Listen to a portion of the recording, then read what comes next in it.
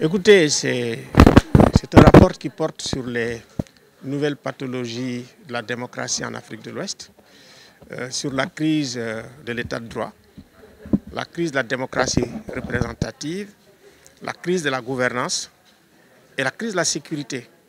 Donc ça fait beaucoup de crises multidimensionnelles que vous voyez déjà à l'œuvre au Mali. Euh, vous le voyez aussi dans certains pays de l'Afrique de l'Ouest, comme le Burkina, comme également le Niger. Donc cette crise, elle se manifeste par le fait que, d'abord, aujourd'hui, avec le suffrage universel, euh, les élections ne sont pas reconnues par les opposants. Il y a la fraude électorale. Et quand vous prenez tous les pays francophones, je vous dis le Bénin, le Niger, la Côte je parle de la Côte d'Ivoire, mais je parle du Sénégal même, euh, qu'on parle de Guinée-Bissau, avec deux présidents. Dans, tous ces pays, les législatives et le référendum boycottés en Guinée.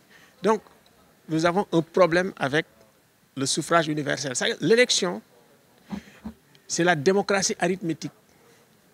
Avec le chiffre, on doit pouvoir, si vous voulez, avoir le dernier mot.